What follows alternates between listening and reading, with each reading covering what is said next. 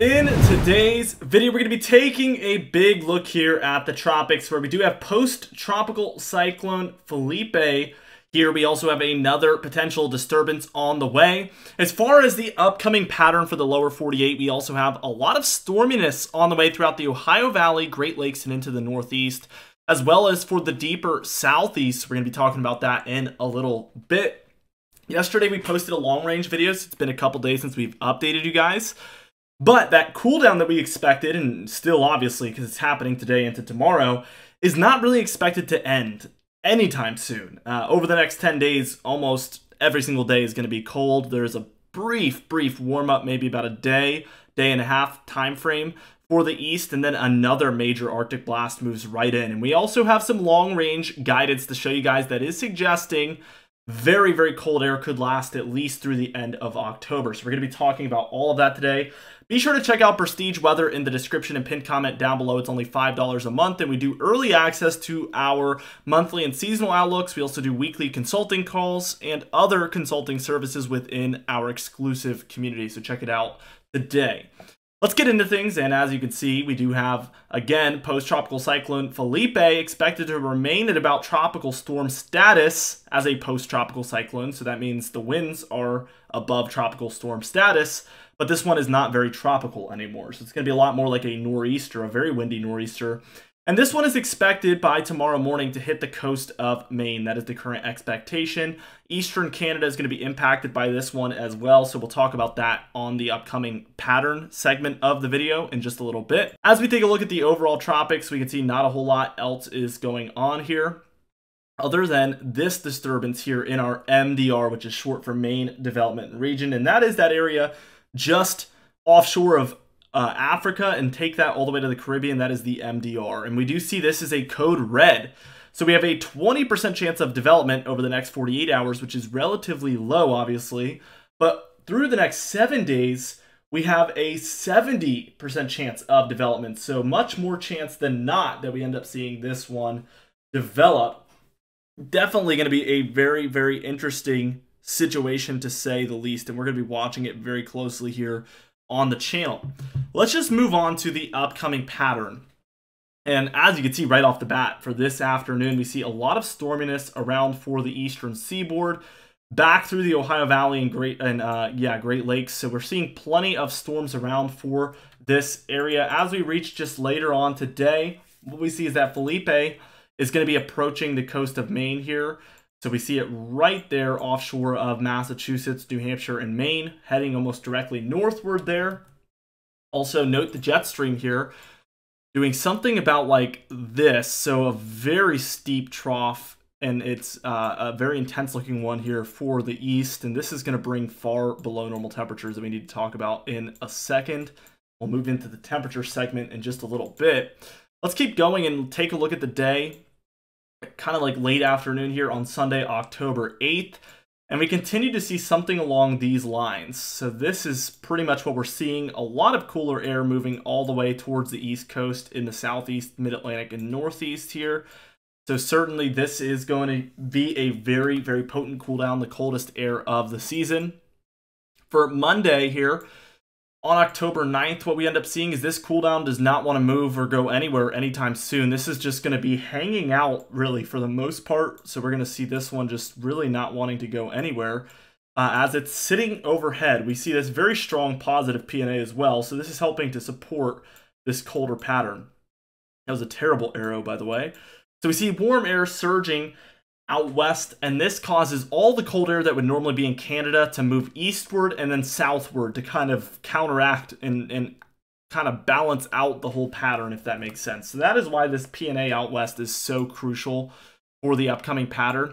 For Tuesday, October 10th, we see something like this. Plenty of storms moving onshore to the northwest. That is going to be a big theme as we move forward. So we're going to be watching closely for that. Still some cooler air in the east by Tuesday. Even by Wednesday here, what we end up seeing is a Rocky Mountain snowstorm here. So Idaho, Montana, Wyoming, Utah, Nevada, down through Colorado. We're seeing plenty of snowfall for the mountaintops and rainfall for the lower elevation areas. Even the Cascade Mountains back in Washington and Oregon, we're seeing very, very similar conditions.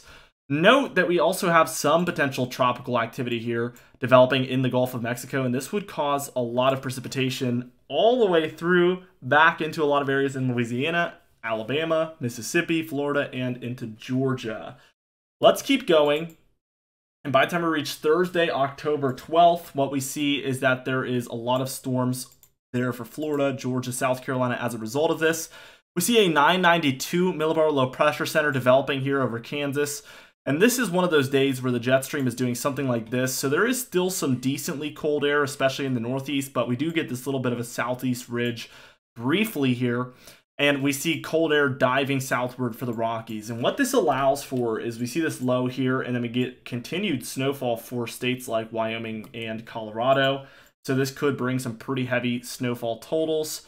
Friday, October 13th here, what we see is a 992 over Iowa, Missouri, Illinois and this is a pretty strong low.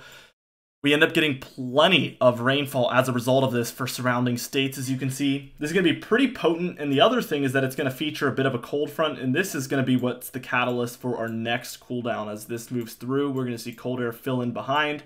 Still warmth surging to the east, but this is going to really quickly, by Saturday the 14th, move towards the east coast we see a kind of double low pattern here and what we end up seeing is a lot of this energy transfers to the offshore low here. So this becomes our primary low the one i'm underlining here.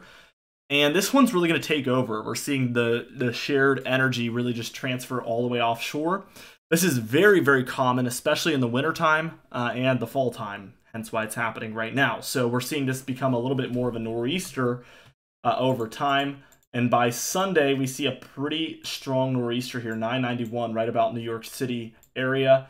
And we see a lot of precipitation as a result of this. Since we see that transfer of energy and that double low, like I mentioned, we're going to see a lot of this precipitation stay pretty far west for a while here through Sunday and even into Monday, where this low has become a 989 there offshore of the northeast.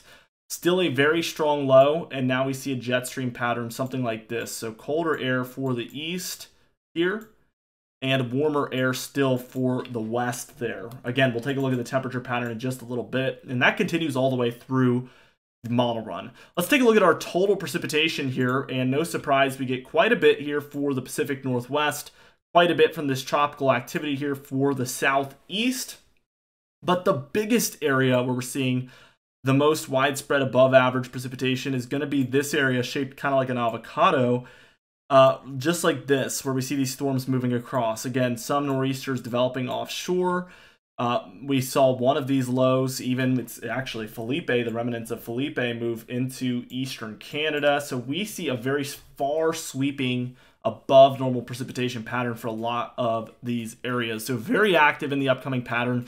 Stronger lows, so it's going to be the areas that get hit by these are going to see a lot, and the areas that get missed are not going to see much of anything. Unlike the summertime, where, you know, if we were taking a look at a 10 day period, odds are most states are going to see some form of thunderstorms at some point. So you get kind of those hit or miss storms. This is not that type of pattern. I mean, we're moving into mid October, and now it's all about low pressure systems. Are you near a low pressure system or are you not? And that's going to make or break everything. Now, the temperature pattern. We see this first initial cool down very potent. Greens are indicating 10 to 15 degrees below normal, so we see this very widespread for the day tomorrow on Sunday, October 8th. Again, very healthy looking positive PNA here for the entire western seaboard there, and that helps to support this pattern. Cold air sticks around all the way through the 10th, 11th, 12th time frame. And briefly, when we get that snowfall for the Rockies, we get cooler air moving in for the west. This warmth is going to want to move eastward just like this. So that is what we're going to see happen here. Pretty classic stuff. And again, this is a pretty transitionary pattern. We see this from time to time. So look, the warmth moves to the east, but look behind it. I mean, we already have our next positive PNA pattern developed. This is by the 14th here, which is going to be Saturday. And we see the cold air already diving southward for the plains here. So that is going to continue to move eastward. And what we get is another eastern cool down here for the late weekend on the 15th into the 16th and even the 17th here with no real end in sight for this very strong positive PNA pattern outside of that little recycling it does, but we very quickly move back into this type of a pattern. Again, let's take a little bit of a long range look here real quickly. Cold from the 8th through the 13th. Cold from the 13th through the 18th. Cold from the 18th to the 23rd, although we get some cold air moving in for the west as well. Now, the 23rd through the 28th, we continue to see colder temperatures in the east. 28th through the 2nd, this is when the model gets a little bit iffy. We see cold from coast to coast. Probably not going to happen that way. This is multiple members of this model giving their own opinion, and then we're seeing the mean average of that. So when they all start to disagree, you oftentimes see weird stuff like this. So take this with a huge grain of salt, or I guess I should say a small grain of salt. This pattern, however, the first through the sixth does look a little bit more congruent with something that's possible. We see a little bit more warmth in here, colder air clearly for the east that is a little bit more of a realistic pattern. Although only time will be able to tell, we have to wait and see. We're going to track this with you guys daily because we do upload every single day, so be sure to subscribe for daily uploads just like this one. You can even hit the bell icon for daily notifications when we upload so you never miss one. Be sure to like the video if you did enjoy it. Leave a comment down below, and I'll see you guys in the next video.